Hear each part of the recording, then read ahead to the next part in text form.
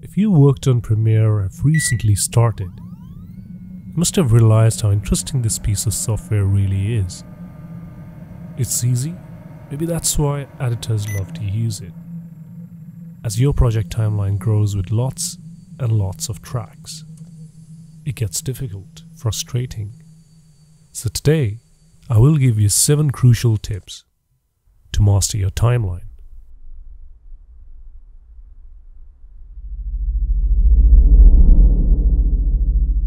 First and foremost, it's a must-know shortcut for all Premiere users.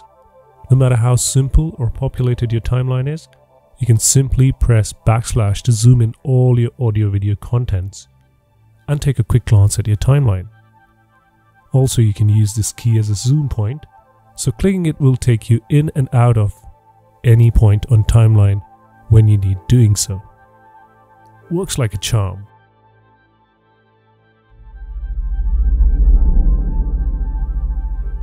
Now to zoom into your timeline, take your cursor to where you would like to zoom into.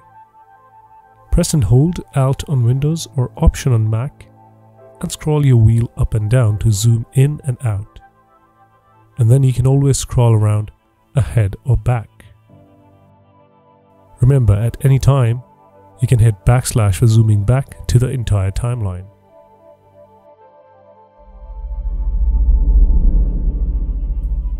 Now if you have a timeline and you would like to zoom in a little more to the contents of a specific track, you probably already know that you can always bring your cursor above the track to resize it, but an easier, more efficient way to do that is by double clicking anywhere near your track name to quickly expand or collapse the contents of your track. Now it's really handy when you want to clean up a specific track, be it audio or video.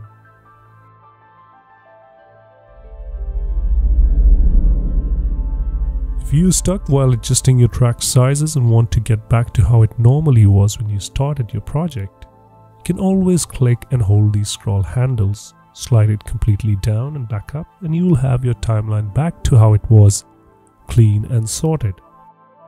Any zoom tracks should now get back to their default size. And you'll have a clean space again to add more tracks and work on top of it. So as you start with Premiere, you will notice the sequence has a lot of empty video and audio tracks made for you. Sometimes you don't need those empty tracks and you may only need just a couple tracks to work with. So to get rid of these tracks, you can always right click and delete an empty track. But an easy quick way is by right clicking and hit delete tracks. Here you can select video and audio tracks and from the drop down have empty tracks selected. Now hit OK. And you have all the empty tracks deleted. Now you can hit backslash to fit your timeline and work in a clean queue.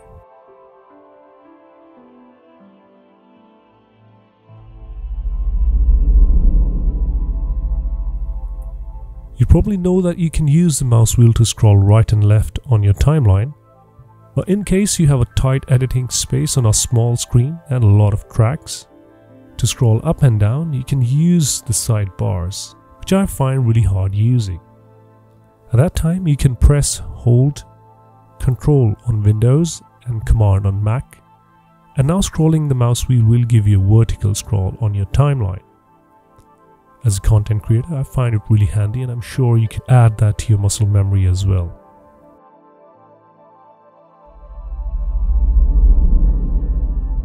Final quick tip is if you want to zoom in and out of any point of timeline manually, then you can set your playhead cursor and use the plus and minus keys on your keyboard to zoom in and out of that timeline.